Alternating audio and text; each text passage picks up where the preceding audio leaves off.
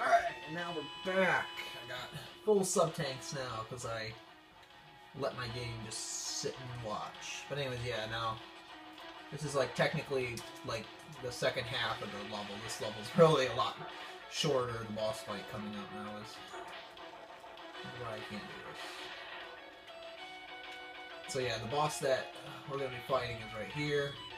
Again, if you had bite or been alive still, it'd be a different boss. And their weaknesses would still stay the same. Now this, this is the garbage disposal boss. This guy is a bit of a troll in some aspects, so easiest way to beat him, just keep climbing this wall. Make sure he doesn't do that. That's just a demonstration. You know, if you shoot the claw, if you shoot the uh, the tornado fang at that right distance, you should be able to hit his face. What's going to happen is, uh, if you destroy his uh, his tusk, he's going to shoot. Uh, you're gonna he's gonna leak the rest of the acid that's uh, in his tusk still. That'll drain his health a tad. What happens is if he grabs you, he'll send you flying over here, so.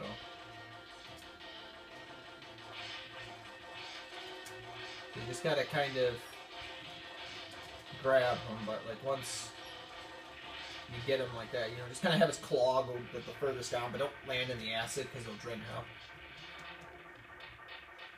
Once you do that, he dies, and then you beat him. So now we're on stage two, and that's uh, not really that hard. But anyways, so yeah, we do the typical. Yeah, we beat him. so yeah, that's the password. Here's your password.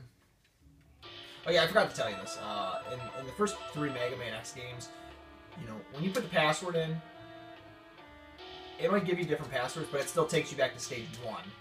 You turn the game off, turn it back on. I know that's not how it works in Mega Man 7, but the first the first six Mega Man games, I know when they introduced the password system in Mega Man X uh, 6, was it? Or Mega Man X uh, 2 the first time, you could start off with different subtext. Okay, now this guy's these guys are really fucking annoying. Like, I mean, I don't remember exactly what weapon you want to use to beat them, but I just fly through them. Like, like literally, you, you do not want to fight these guys. Like, they, they just, they're just, they're just there to piss you off. They really are.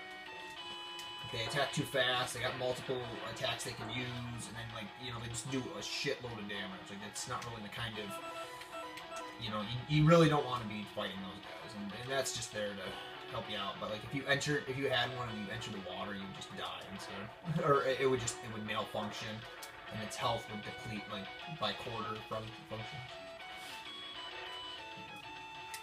So yeah, here we have another boss. It's actually really interesting.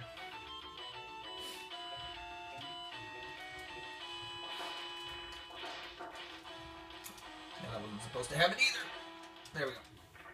I don't know. Like, I, I, I have like bad luck sometimes. Like, maybe I'll just throw myself right in there, like I'm trying to kill myself. In this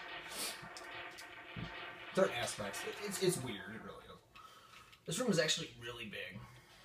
It's like you can jump all the way up here and like how big that room is. Pots everywhere. This next part's really annoying. Well, first we gotta get past these bastards, then I hate, I hate these guys. I really do.